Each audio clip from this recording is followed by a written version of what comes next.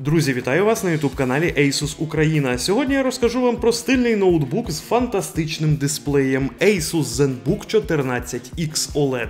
Поїхали! Корпус девайсу виготовлений з алюмінієвого сплаву з алмазним огранюванням. Коли дістаєш гаджет із коробки, відразу помічаєш, що перед тобою якісна витончена річ. Фірмовий малюнок на верхній кришці в формі концентричних кіл, прямі лінії і правильні контури в усьому екстер'єрі продукту. Це виглядає чаруюче. Володіти таким ноутом хочеться. Не кожна річ викликає подібні емоції. Ноут вийшов легким і компактним, як для 14-дюймової моделі. Маса складає 1,4 кг, а в найтовщому місці ZenBook 14X OLED завтовшки усього 15,9 мм.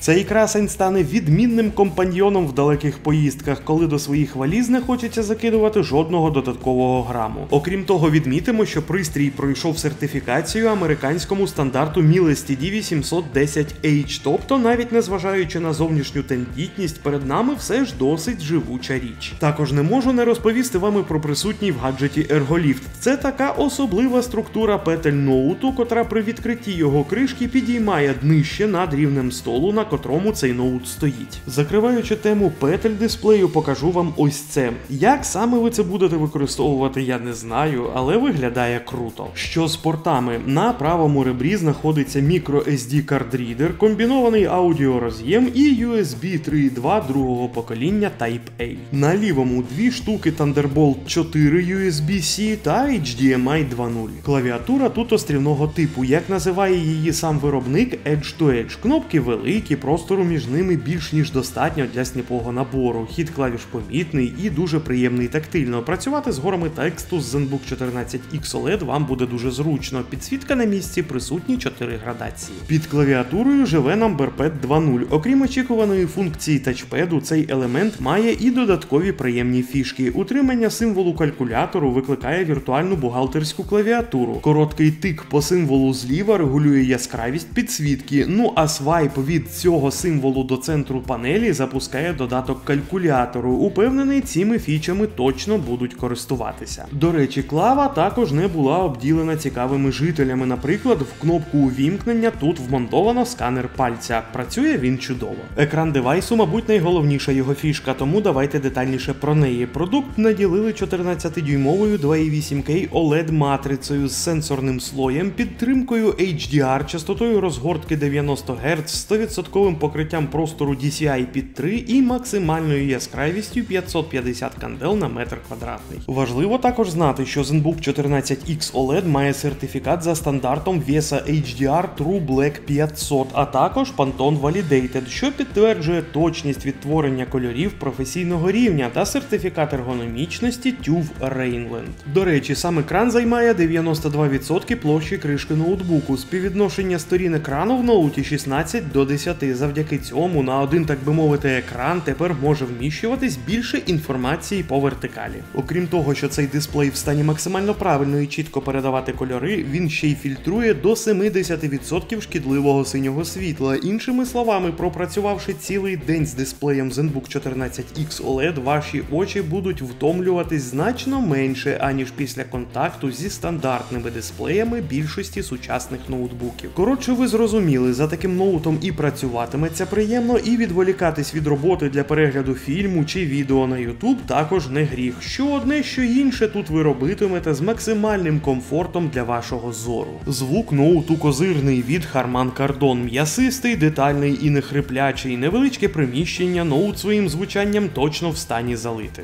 Що з залізом, серцем нашого зразка виступає Intel Core i5 1135G7 в якості відеоадаптера, інтегроване відео Intel Iris Xe Graphics оперативної пам'яті 16 ГБ, стандарт LPDDR4X, частота 4266 МГц. Накопичувач NVMe M2 SSD на 1 ТБ, підключений по шині PCI Express 4.0, що очевидно перед нами зовсім не геймерська звірюга, але робочі задачі середньої складності йому цілком по зубам. Робота з документами і презентаціями, месенджерами, трохи фотошоп чи інших графічних редакторів, котрим треба більше потужності саме проца, а не відеокарти. Робота з кодом, плюс що очевидно, браузинг. Думаю, це левова частка роботи з ПК для більшості сучасних молодих людей. В тому випадку, якщо світ ігор вас все ж таки не відпускає, і хочеться, хоч іноді, як то кажуть, відвести душу, заспокою вас тим, що ігрові хіти 5-7 річної давнини на середніх пресетах графіки тут все ж таки працюють. Тому, якщо перевірена роками класика для вас не пустий звук, знайте, що насолодитись зможете. Також із числа фішок заліза відмічу можливість зарядки пристрою за допомогою некомплектного зарядного блоку, а від адаптеру вашого смартфону чи планшету Powerbank також можна юзати. Головне, щоб джерело живлення могло видавати не менше 5 вольт. Ось таким вийшов ZenBook 14X OLED елегантним, легким, з усіма необхідними портами, тобто універсальним, з купою приємних фішок і неймовірно крутезним дисплеєм, котрий виводить досвід використання персонального комп'ютера на новий емоціональний рівень. На цьому у мене все. Не забувайте тицяти вподобайку і підписуватись на цей канал. З вами був Сергій Шихайлов спеціально для каналу Asus Україна. Дякую за перегляд і до нових зустрічей.